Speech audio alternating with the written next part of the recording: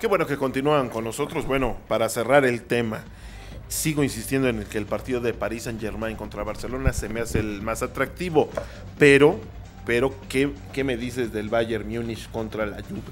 Sí, el Bayern Múnich eh, leía unas declaraciones que estaba comentando Pablito de Uli Genes, que es el mandamás en esos momentos de- del equipo del Bayern Múnich, que dice que están jugando basura.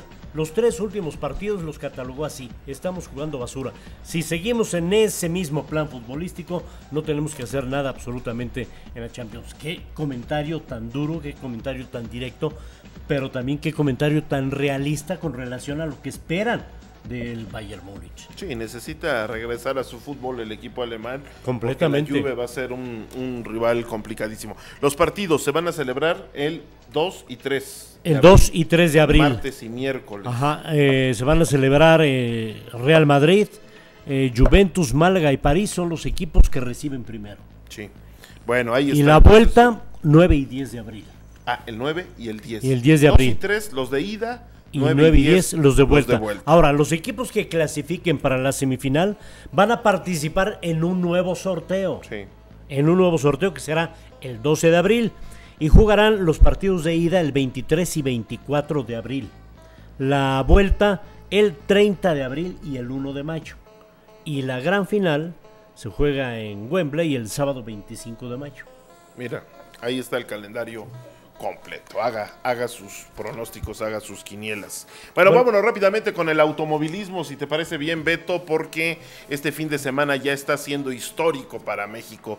Después de muchísimas décadas, la, hablando de la década de los 60, dos mexicanos estarán corriendo en la pista de la Fórmula 1, el primer premio de esta temporada. Sergio El Checo Pérez y Esteban Gutiérrez. No les ha ido nada bien. Ahí vemos imágenes ya de lo que es Australia, la llegada de- del, del mexicano Sergio Pérez y las primeras pruebas. No, insisto, no les ha ido nada bien. En la segunda clasificatoria, Sergio Pérez se ubicó en la posición número 3, mientras que Esteban Gutiérrez con la escudería Sauber llegó en el lugar 16. La importante es hoy, hoy madrugada, no, más bien Mañana. Mañana madrugada de México. No, eh, bueno, sí, madrugada de aquí de México.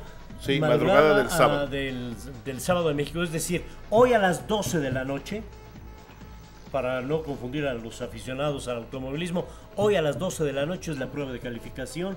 A las 0 horas comienza la, La última. La última, La que es la que define la parrilla de salida. La largada, efectivamente. Y la carrera comienza en la madrugada del lunes, en el primer eh, del lunes Del domingo. domingo. En el primer minuto del domingo, a las 0 horas del domingo, comienza la carrera en Australia. Y arranca esta temporada el Gran Circo, los retos. Me parece que, que es, es, es histórico, yo decía, porque lo que ha hecho Sergio Pérez en un año fue dar un brinco enorme, pasar de una escudería pequeña, si hay que decirlo así, Sí. a una escudería grande como es McLaren y donde, donde han estado simple y sencillamente los mejores pilotos. Y el debut de, de Esteban me parece que también genera muchísima expectación. Fíjate que están eh, siguiendo algunos eh, portales de Europa, están hablando de que el eh, caso de Chico Pérez aparece entre los 10 primeros, pero no para, para ganar el Gran Premio, sino entre los 10 primeros pilotos en las casas de apuesta para poder hacer algo. Vamos a ver qué ocurre, estaremos muy, muy, muy pendientes de, este, de esta participación. Subrayo, histórica, verdaderamente. Bueno, vámonos a la jornada 11. Esta noche se pone en marcha precisamente torneo de clausura 2013. A las 7 de la noche con 30 minutos rodará el balón allá en la selva chiapaneca. El conjunto de los jaguares recibe al Morelia. Partido donde el más eh, preocupado debe ser Morelia para buscar puntos y meterse precisamente en la zona de calificación. Fíjate, Jaguares es un equipo que, si mal no recuerdo, tiene seis puntos ¿no? en, la, en la tabla de posiciones. Déjame verificarlo, ¿sí? Seis puntos tiene Jaguares en la tabla de posiciones. muy, muy baja la temporada. Caray, nada más abajo de Jaguares está León que tiene cinco y San Luis que tiene dos. Ahora, un triunfo de Morelia lo mete en la zona de calificación. Sí. Eso es lo importante para Monarcas este partido. De, lo atractivo de esta, de esta temporada, de esta jornada, perdón, por supuesto, el, tema sin duda de la quema que, que, ha jalado los reflectores, en lugar de estar hacia arriba, ese, se enfocan hacia abajo.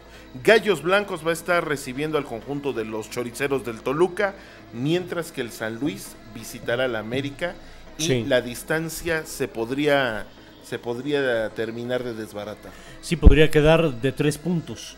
De tres puntos en dado caso de que Querétaro gane al Toluca, que no es nada difícil esto, tomando en consideración de que el momento anímico de Toluca está, de, Querétaro está mejor que el de dos Toluca. triunfos al Sí, como no.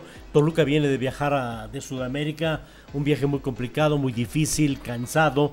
El eh, equipo puede estar no en las mismas condiciones anímicas y físicas de Querétaro, esa puede ser una ventaja. Aunque Ciña juegue su partido número 500 de liga con el, con el Toluca. Y la otra, San Luis San Luis se mete a visitar al América bajo la dirección técnica de Gerardo Silva Escudero, que es el nuevo director técnico interino del equipo de San Luis. Ah, o sea, imagínate. ¿Será director técnico? Bueno, por lo menos así va. Mira, Habrá que ver la cédula del árbitro para ver cómo a quién ponen de director técnico. Van a poner, te voy a decir, S D. ¿Sabes a quién me ¿Se ve bien? Sergio Bueno.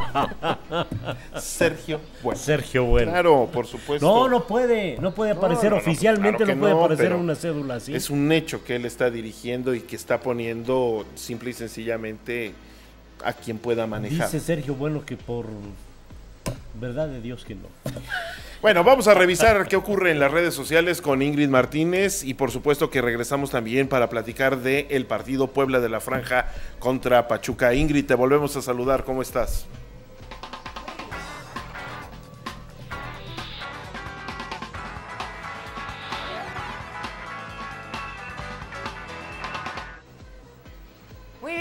Impactada por todo lo que está surgiendo en las redes sociales y vamos a comenzar con Televisa Deportes. Lewis Hamilton marca el mejor tiempo por ahora en la práctica 2 del Grand Prix de Australia. Checo se coloca en el quinto y Esteban en octavo, por si no lo habían escuchado, si nos acaban de contactar, les repetimos la noticia. En Azteca Deportes, Nadal aplasta a Federer en el Indiana Wells. El español derrotó al suizo por parciales de 6-4 y 6-2.